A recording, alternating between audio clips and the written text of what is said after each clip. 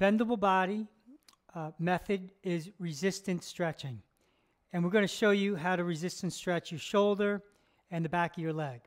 So we're going to go over the four pillars of a stretch. Uh, but first of all, there's uh, you're resisting. That's the key thing here. Resisting that changes the fascia. That produces results that improve your uh, strength, flexibility, and uh, alignment, which helps with pain and symptoms and things like that. So let's uh, start on the shoulder. This will be the target muscle area that we're stretching, right? Part of the outside of the arm, shoulder, up into the traps. So typically, people go right to the end range, and they call that stretching. Resistance stretching is start with the muscle in a shorter position, not an end range. You start shorter, shorter. And this move, arm's going to move back. This is the internal force, your own resistance. My right hand is going to grab my elbow. And it's going to pull my elbow against resistance, against resistance, against resistance. Let it go. So let's go over the four pillars of a stretch. There's a start position. That's wherever you that's that's where you're comfortable starting. So some people will be comfortable here, some people will be comfortable here, some people go, okay? So let's start here. Start pillar number one, start. Uh, pillar number two, add the resistance. So the left elbow is going back, the helper hands pulling against each other. There's the resistance, pillar two. Pillar three, keep pillar two and stretch and lengthen. And pillar four is let it go and go back to the start. Pillar one, the start position. Pillar two, the resistance. Pillar three, keep the resistance and stretch and lengthen. Pillar four, let it go.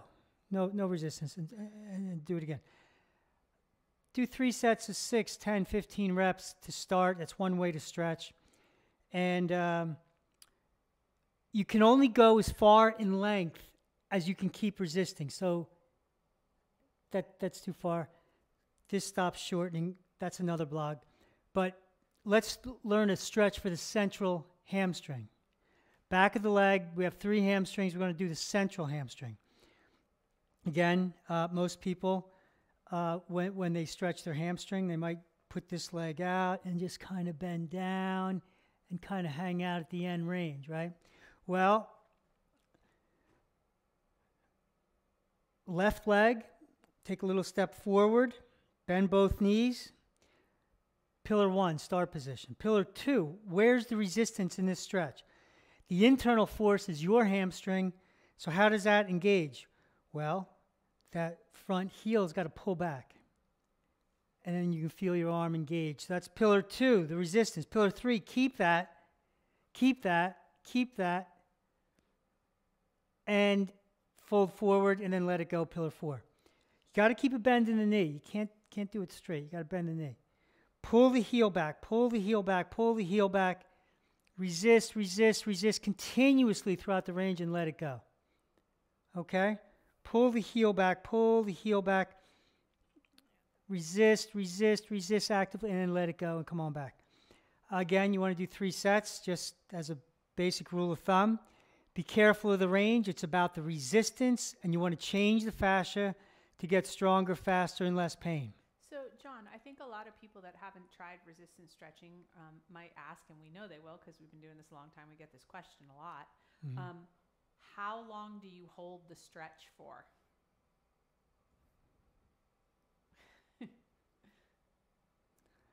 Uh, the, the fascia changes with resistance and continued resistance in a movement. Now, it doesn't have to be a big movement, but holding the stretch, uh, and there's been a lot of studies done on all the basic uh, s- stretching techniques. Uh, it actually weakens muscles It makes creates micro tears. So when you resist, you engage the fascia, you protect the muscles, you protect the joints, and you don't overstretch, and there's no pain involved. So you're not holding the stretch, it's a stretch movement. Not holding the stretch, you, uh, you resist. You got to re- actively resist. Uh, yeah. There's Okay, no and- holding. And so you just said your joints are protected, and you know we know that when as soon as you resist, there's a suspension that happens in the joint, and we don't want the stretch to go into the joint because a lot of people that might be watching this could have pain and injury in their joint, or maybe even like a tear, which is something that we deal with all the time. And so, how do they know that they're safe? Not only safe, that their injury is going to get better when they do this stretch. Well, it'll heal faster for sure, and, and there won't be any pain. Uh, depending on the degree of injury, the degree of a tear, degree, you want to stay away from that target muscle, that area, and you stretch the muscle on the other side. For instance, we were just stretch, stretching um, the shoulder, the outside of the arm here. We're lengthening the outside of the arm. So this, the inside of the arm, is shortening. And so that's another component of flexibility is that while one body part's lengthening, lengthening, another part's shortening. And the ability of the muscle to shorten isn't very good. And so if a muscle, if you're lengthening a muscle and this isn't shortening, this gets overstretched. So, and that's probably how the tear or something happened. That is how the tear happened initially. So wherever your tear is, then you stretch the other side of the body. That's how you start. That's that's a safe way to go.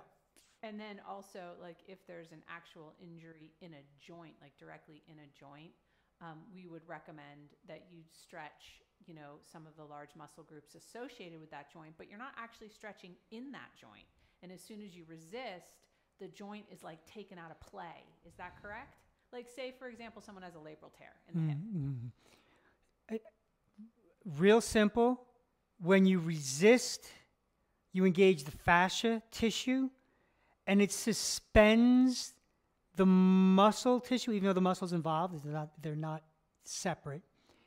And then it suspends and creates space in the joint, so nothing goes in the joints. Right. Yeah, you're safe. You're safe when you resist. You got to fully resist. pressure, and then it'll take pressure off the joints by getting those muscles to work better. change the fascia a little bit, and then you get more space in that joint, and it's, it, it, it hurts less. And you just get how many reps and how much force do you need to change it? So resistance stretching is pretty much the exact opposite of strength training, right? The movement is, and yeah, it well, it's strength training. You start with the muscle long, you add an outside force, and you make it short against that force. Resistance stretching is you start short, you internally resist, and you have an outside force overcoming it. Whether it's the floor, the wall, An somebody else, and a sister. yeah. And so it balances weight training. it balances weight training, but what we found is if you're going to weight lift and you're going to do 20 reps of weightlifting, you got to do 80 reps of resistance stretching. Hmm. Or if you do not, you know, 10 reps of weightlifting, you got to do 90. The ratio, because of the initial force. So if I, typically, if a person can lift 50 pounds or lift 50 pounds, you know, start here and push up if they started here, they could probably put 300 pounds on the bar and resist it on the way down. They might, you know, but they can't push that up. But the resistive force is, you know, exponential or two to one, five to one, 10 to one, 20 to one in terms of force. And so And- where do we want that to be if the tissue's healthy? Where do we want that ratio to be? You know, we don't really know. It's a, you know, two to one is a, seems like a nice, the, the less res- fascial force you have by changing the force with the resistance stretching that do with Bendable Body, the more strength the muscle is going to have. Yeah.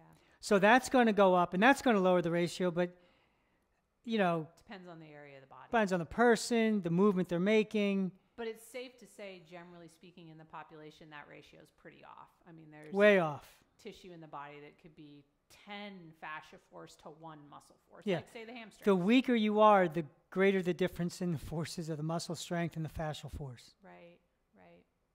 Great. I guess the last point we want to bring up is, um, you know, resistance stretching doesn't just change fascia, fascia and muscles and pain. It also impacts organ health. Oh yeah, yeah, yeah. So the first one we did, that's going to change the health of your large intestine because the large intestine meridian runs right along there. You know, if you have high blood pressure, low blood, everything the large intestine is regulating, that gets better. Elimination. And how about that leg stretch you taught him? Central hamstring nerves, brain, brain. Um, meridian runs down the central hamstring, um, then it goes up center of the back. So yeah, Brain health. So you can try those two stretches. We have a number of other stretches you can try in our various Yeah. blogs on our YouTube channel, and um, leave us a question. Yeah, we'd love your feedback. Thanks.